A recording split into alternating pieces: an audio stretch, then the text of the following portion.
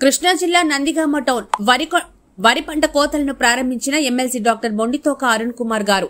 అనాసాగరంలో పోతురాజులకు ప్రత్యేక పూజలు నిర్వహించిన ఎమ్మెల్సీ డాక్టర్ మొండితోక అరుణ్ కుమార్ గారు. రైతులకు అండగా ముఖ్యమంత్రి వైఎస్ జగన్మోహన్ రెడ్డి గారి ప్రభుత్వం. ఎమ్మెల్సీ డాక్టర్ మొండితోక అరుణ్ కుమార్ గారు.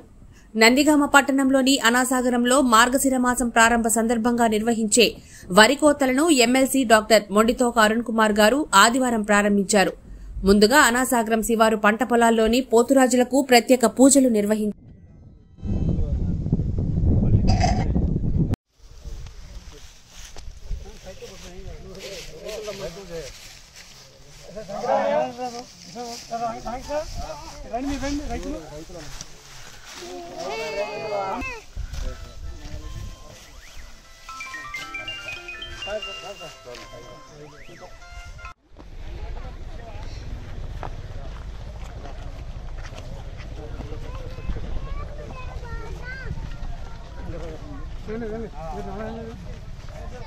Bueno, para.